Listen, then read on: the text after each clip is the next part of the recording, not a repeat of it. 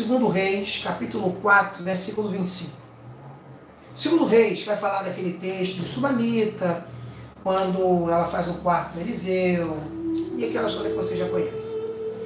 Chega um momento em que Sunamita deixa o menino morto no segundo andar, Sunamita pede que o marido prepare um animal para que ele fosse, naquela até onde o profeta está.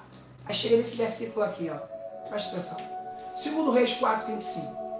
Partiu ela e foi. E foi ao homem de Deus, ao Monte Carmelo.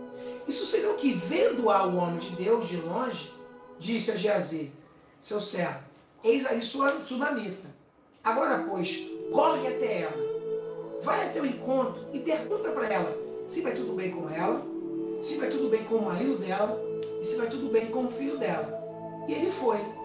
E Jesus chega para a Sunamita e pergunta, Sunamita, vai tudo bem contigo? Vai tudo bem com teu filho? Vai tudo bem com teu marido? E ela dá aquela resposta emblemática, né? Vai tudo bem. Faz uma pergunta para você. Estava tudo bem com o Sunamita? Ela estava bem mesmo, de verdade?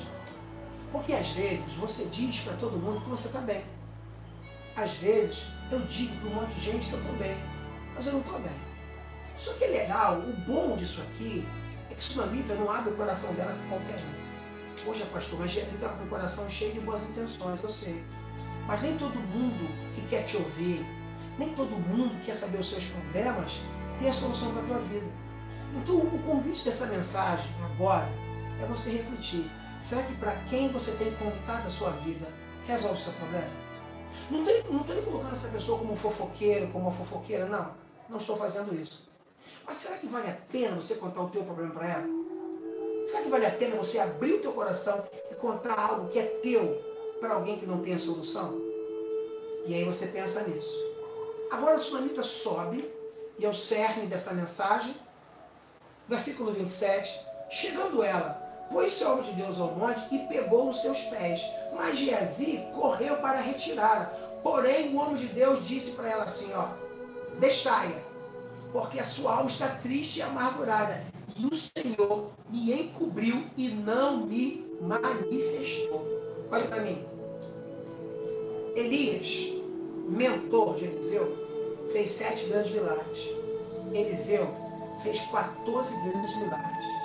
O último milagre de Eliseu, depois de morto, um homem jogado em cima de Eliseu morto, aquele homem morto volta à vida. Até depois de morto, Eliseu fez milagre. Só que esse milagre Eliseu não fez. Não entendi, pastor. Qual milagre? Eliseu sendo profeta, o grande homem de Deus, ele não conseguiu descobrir o que estava no coração de Sunamita.